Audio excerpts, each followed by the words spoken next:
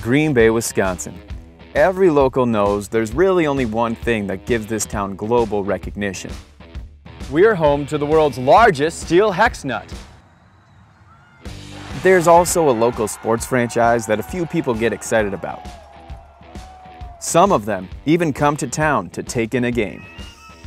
The game day experience at Lambeau Field is unlike any in professional sports. And if you're one of the millions of visitors the Packers bring to the city every season, you may be asking yourself, besides the game, what else is there for me to do in Green Bay, Wisconsin? To take in all the city has to offer, while at the same time immersing yourself in football lore, take a stroll on the Packers Heritage Trail. The free walking, biking, and or driving tour throughout Green Bay and De Pere. The trail features 25 commemorative bronze plaques located at sites where the history of the Packers and their connection to the fans unfolded. The trail is divided into three sections. The City Walk, the Packing Plant Spur, and the Lambeau Lombardi Spur. So join me in Cheesehead TV as we journey down the Packers Heritage Trail and get to know Titletown, USA.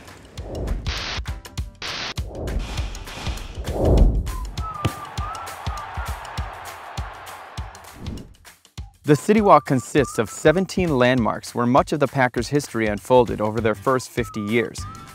The journey starts at the Neville Public Museum,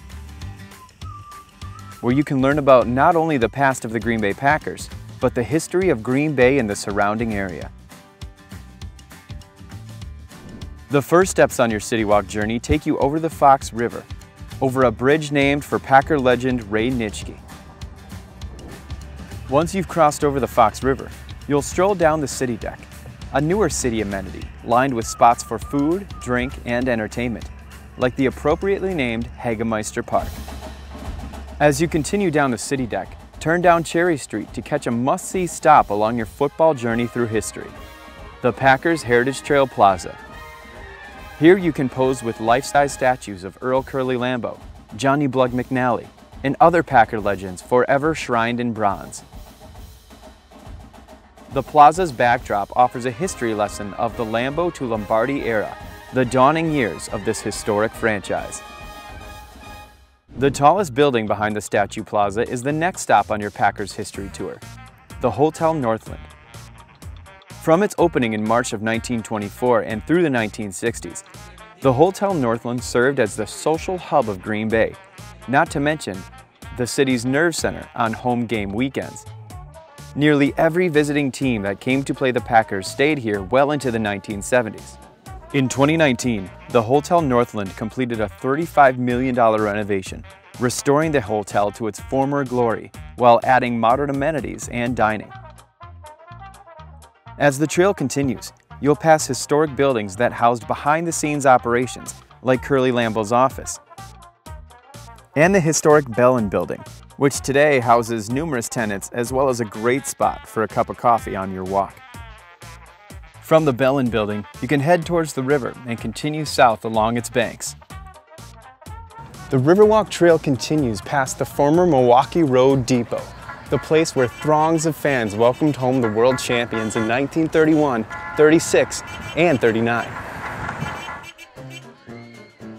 Just across the street from the former Milwaukee Road Depot is an amazing spot in downtown Green Bay.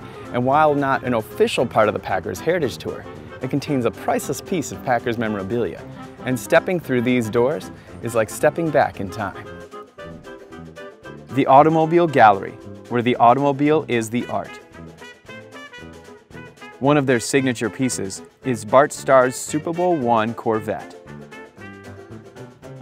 After checking out the cars, the tour continues with more historical behind-the-scenes Packer operations, like the original Packers office building, as well as the Elks Club building, where the first Packers Hall of Fame induction ceremony was held in 1970. If you're going to pray for a Packers win, celebrate Mass at St. Willebrord Catholic Church, where Vince Lombardi faithfully attended morning service.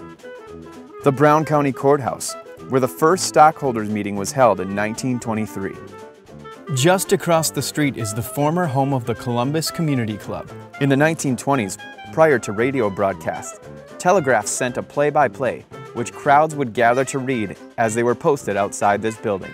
Years later, this building became home to Green Bay's first TV station, WBAY TV, where the Vince Lombardi show was taped.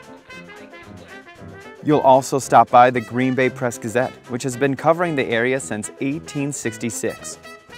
The final few stops on the City Walk require a little more walking, so a bike or a car may be the best way to access these Far East locations. But these are stops you won't want to miss. Hagemeister Park is where the very first Acme Packers tore up the tundra in 1919. During games, a hat was passed among the spectators to collect donations for the team.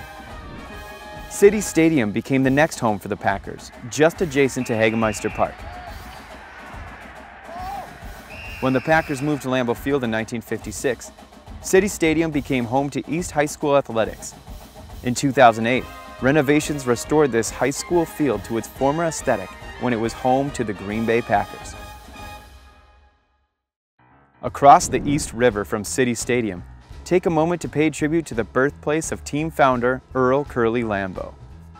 Before heading downtown to complete the City Walk, jump onto the next leg of the Packers Heritage Trail, the Packing Plant Spur. The Packing Plant Spur is designed as a self-guided bike ride. The Spur Trail starts just north of City Stadium and follows the East River Greenway and the Baird Creek Parkway. You'll see the Packers practice fields, Bellevue Park, the Indian Packing Plant and Acme Packing Plant, the original sponsors of the Green Bay Packers. And while you're in town, make sure to see what's happening at the Riverside Ballroom. This iconic venue is not only an amazing part of Green Bay Packers history, but also the history of music. This historic venue hosted the Winter Dance Party on February 1, 1959, the second to last performances for three of music's greats, Buddy Holly, Ritchie Valens, and the Big Bopper. Wrap up the City Walk by crossing the Bart Starr Bridge and walking over to the final stop of the tour, the Chicago Northwestern Depot, where fans came to town to take in the Green Bay Packers and also welcome the Packers back from championships. Today, it has amazing food and makes for a perfect final stop on your walking tour. For the adventurous die-hard fans, the Lombardi Lambeau Spur takes you south along the Fox River Trail. You'll see spots like Curly Lambeau's gravesite, Vince Lombardi's home, and the Union Hotel, a historic establishment that carries on old traditions to this day. Plus you'll see St. Norbert College, home to the Packers training camp.